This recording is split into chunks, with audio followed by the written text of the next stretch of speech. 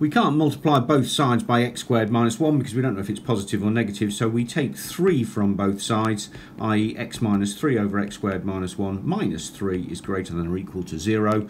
Now putting it over a common base, we have x minus 3 minus 3x squared minus 1 over, and also at the same time factorising by the difference of two squares the bottom, greater than or equal to 0. Tidying this up, we have x minus 3x squared over x plus 1 x minus 1 is greater than or equal to 0. Taking the x out gives us x 1 minus 3x over x plus 1 x minus 1 is greater than or equal to 0. We need now to multiply by minus 1 to flip this round, which gives us x 3x minus 1 over x plus 1 x minus 1 and because we multiply by minus 1 we have to flip the sign and less than or equal to 0. Now looking at a number line here using the points 0 minus 1, a third, and 1, we need odd numbers of these four to be negative, i.e. it must be between 1 third and 1 or minus 1 and 0.